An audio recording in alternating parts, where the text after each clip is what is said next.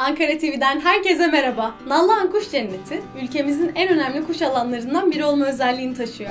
Bu alan yaban hayatı koruma ve geliştirme sahası olduğu için avlanmak yasak. Sarıyer Bölge Barajı'ndan beslenen alanda bugüne kadar 179 kuş türü gözlenmiş. Bu nedenle alandaki su seviyesindeki değişimler kuş popülasyonu açısından büyük önem taşımakta. Nisan sonu Mayıs başı gibi ciddi bir kuş popülasyonu geldiği için oldukça hareketli bir alandan söz etmek mümkün. Tabi burada tesis içine inşa edilen iki katlı binada çeşitli kuş fotoğrafları ve heykellerini inceleme fırsatı bulabilir.